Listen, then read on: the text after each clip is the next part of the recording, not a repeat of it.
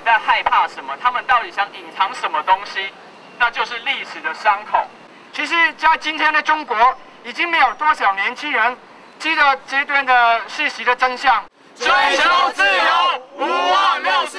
追求自由，五望六四。这件因为现在感觉说台湾目前在台湾这边沉目前沉浸在建国百年喜悦中，那在对岸呢，他们沉浸于自己高经济发展的荣景当中，没有人去记得说这些历史的伤口。这些东西，我们认为这件事情是不对的。我们台湾的青年学生，包括来自两岸四地、香港、澳门的学生，我们希望说能够重新组织起来，让社会大众、让全球华人看到说这件事情是不对的。而且我们没有忘记，我们会持续关注，并且去声援、去平反、去悼念这件事情，直到说有一天他真的完成了，呃，平反。六四这件事情，让当年的不管是受难者学生、受难者家属，能够得到一个公平正义、合理的对待和补偿。或许有人是认为，身处在台湾、香港、澳门这几个比较自由的地方，中国的民主人权其实跟我没有关系。其实今天的中国比二十二年前的中国更有威胁。以香港为作为例子，在回归了中国的十四年来。一直受到中共在不同程度的打压，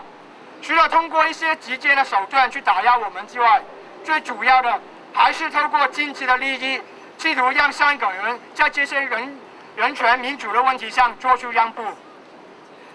在香港有许多有许许多多无良的商人，他们为了经济的利益，为了金钱，他们在各个领域上，包括在香港立法会，为中共的专横暴力护航。中国政府允许这群香港的商人在中国以非常低廉的价格去请那些劳工为他们去生产，争取庞大的利益，到头来受到最大的伤害还是中国的人民。接触到了很多来自中国来台湾交换的这些学生，当我们跟他们交谈的时候，常常他们会告诉我们，有些话他们不能说，有些事情他们不能做，有些活动他们不能参加。当我们带着他们。希望尝试让我们去体验台湾的公民运动的时候，他们告诉我们，他们不行。他们告诉我们，他们怕媒体，他们怕被采访。因为当他们被采访之后，他们回到中国去，可能会受到两个月、三个月的掌控。为什么我们现在还要去承认这样的一个政府？为什么我们现在我们的政府还要去跟这样的一个政府做越来越多的接触，然后又不去强调他对人权上的压迫，强调他对异议人士的拘禁？是不是有一天我们的政府会跟他们政府结合在一起？那到时候我们的人性尊严又去了哪里？当今天我有很多的机会可以去中国做交换学生的时候，我觉得不像是去欧洲国家，我会考虑说我的语言问题，我会考虑说我的生计问题。我反而第一个考虑的是我在那边能说什么话，我会不会在那边去了我就回不来了？所以我想今天就是二十二年来。六四一直都是一个对于中国在民主、在人权上面一个很重要的标杆，因为中国政府对人民开枪了。中国人、中国政府很大张旗鼓告诉他们的人民说：“你不能追求这些事情。”同时也告诉人民说：“你们谁再敢讲话，我就拿枪顶。”所以，我觉得这是为什么今天我们要走上街的，为什么我们今天要选择在自由广场前面，告诉社会、告诉大家说，我们这群台湾学生，我们没有忘记六四，六四对我们是有很大的影响。大陆那边的学生，我们目前是和港澳的各地学生会的组织，他们在六四当天晚上也会办纪念活动。那我们两岸四地是相互呼应的。那目前是没有任何的陆生以个人或者团体的名义加入我们，可是据我所知，其实还是有很多陆生，他们私底下有对我们表达。关注跟支持。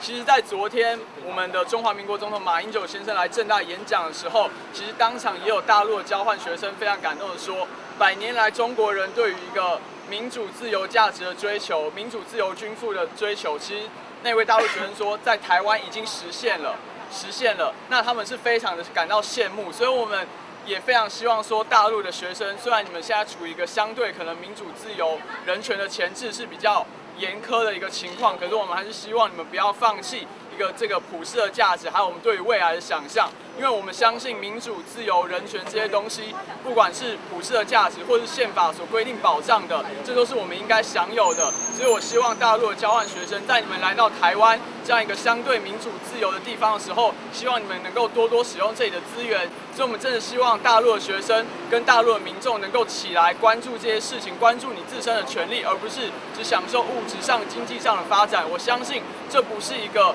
富强的中国人或者中华民族所希望的。可能有人会觉得我这样讲，就是中国为了利益，就是用利益输送，这个有有点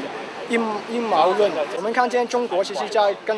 呃台湾一些呃所谓的一些对谈的时候，他很强调一一点东西，就是说他是因为他是觉得现在是先谈经济后谈政治的统合。其实中国到现在是没有放弃过他们所谓的统一台湾这样子。所以我是看到这个是比较危险，可是他们现在就不谈，然后就用经济的利益。我自己是比较担心一个问题，就是说，呃，台湾很多经济利益上越来越依赖中国，然后，然后越来越依赖中国的时候，就是说，如果有一天中国突然就跟台湾讲，如果你再这样子再反对我们的声音的话，我就切断哪些利益的时候，台湾已经没有办法去把这个问题改变过来，所以到时候才去处理这个问题是非常非常危险，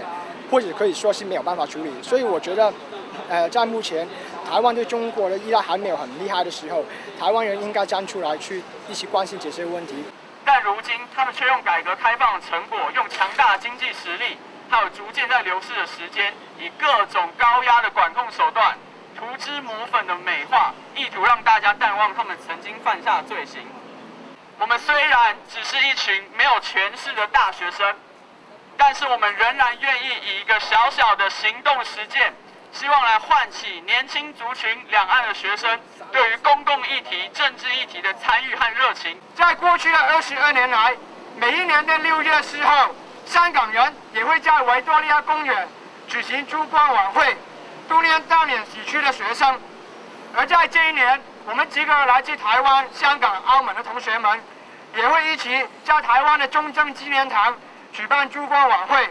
也是希望台湾的朋友们。不要忘记这段的历史。我在这里跟大家保证，我们往后有没有人，有没有钱，我们也会继续把那个晚会办下去。希望明天七点钟可以在呃中正纪念堂的自由广场还有外面看到大家，谢谢。